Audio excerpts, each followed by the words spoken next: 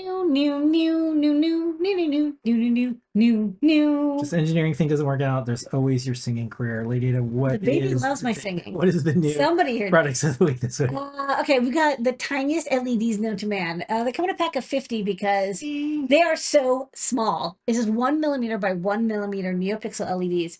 Um, but a photographer is great at macro photography. Look at this like beautiful photo. Nice. Uh, you can see the bonded LED in the green, red, and blue dies. Um, they are NeoPixels. So on the bottom, there's four pads. Um, and you provide power, ground, data in, data out. You can chain them.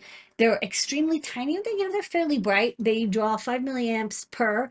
Um, I will say, you know, having used these, if you're going to place a ton of them, like dozens on a PCB, you do have to provide some heat sinking somehow. So like the back should be a copper ground plane that you know tries to dissipate some of that uh, heat away because um you know if you're especially especially if you're powering them from five volts you're drawing you know five volts and 15 milliamps for all the leds and before you know it you know the the, the density makes them uh, heat up quite a bit. But they're tiny and they're cute and we have them in a strip cut tape strip of 50 pieces.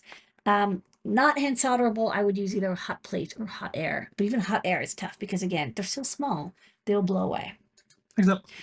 Next up, um, a little handy USB switch. We were going to use this for a project. Um, you have one USB port and you have two devices and you want to switch between two different devices. Like what would connect to the USB port as a peripheral? You want a mux. Um, so this is what it is. Uh, so if you go to the first photo.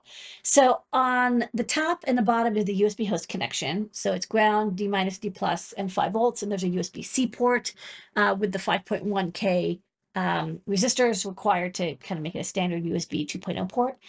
And then um, by default, port one is connected. But then if you flip, I think S is pulled low by default. If you pull it high, port two is connected. And then if you pull it low, port one is connected. You flip back and forth as much as you want. Um, there's a uh, switch inside, a little chip in the middle that is designed for USB 2 480 megabit per second speed. So it's, you know, can be used with video devices and high speed USB devices.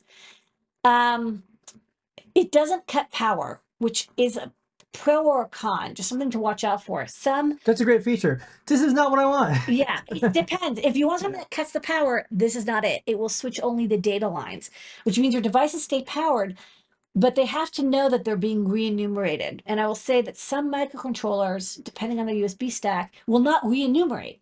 So if you are, you know, I've found like, you know, I switched like a FTDI chip and a USB stick, like a, a key, um, data key. Those worked fine because they recognized, oh, the data lines went away and then they came back and they re-enumerated and came on. But like, uh, you know, I think I had like a Trinkey and it didn't. Um, so what you'll want to do is if you have a microcontroller and you're running your own USB stack, either add code to detect that you've lost USB connection and re-enumerate, or you'll want to also connect that like that S pin or whatever that's controlling the S pin, also reset the microcontroller to tell it, hey, I want you to kick again, start over, and uh, try re-enumerating USB because a lot of them, you know, will only really try the USB connection at the beginning. Again, for microcontrollers, for a lot of like you know, mice, keyboard, you know, USB serial adapter. They're going to be fine because they're all using hard-coded uh, USB interfaces that will reconnect when the data um, resets. So um, maybe handy. It's not a hub; it's a switch. One or the other. Okay, and the star of the show, besides you, Lady Ada, our team, our customers, our community, everyone who does open source hardware and shows and shares things is This cute TPS 61040 booster. Um, I use this chip in a lot of our OLED and TFT displays uh, when I have to generate a 12 volt signal or even higher. Uh, it's adjustable. Um, the the chip is adjustable. This breakout is not. Um, again, I use it for OLEDs. Sometimes if I have, you know, a lot of LEDs in a row, it's not a very powerful booster. You're only going to get like 40, 50 milliamps, maybe a little bit more if you give it five volts. And you can only give it three, like 2.8, whatever, to six volts input. It'll boost up to 12 volts. And sorry, the input is two to six volts, output is 12 volts. Again, you know, 40 to 80 milliamps or so. Um, not very powerful, but it's inexpensive and small and simple. And you know, again, when you don't need a you don't need a lot of current. For example, I talked about high voltage programming microcontrollers earlier. Sometimes you just need a 12 volt signal on the reset line to tell it, hey, you know, I'm putting you into this high voltage programming mode. I want you to kick out of whatever you know setup you're in, and permit me to do high voltage programming, or you're programming EEPROM and you need to power it from 12 volts, but you don't need more than 50 milliamps. This will work just fine. It's a lot easier than getting your own separate 12 volt power supply. It's a little handy mini booster. Um, again, I use this chip a lot to replace the fan 5331, uh, which is no longer made. I think we chatted about this on a great search because I need to find a replacement.